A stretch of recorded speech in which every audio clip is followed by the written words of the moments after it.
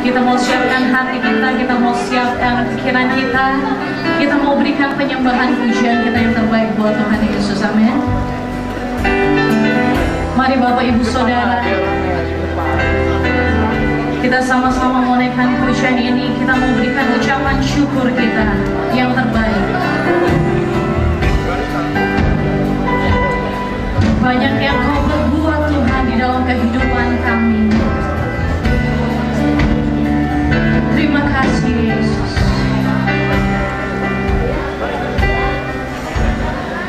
Yeah.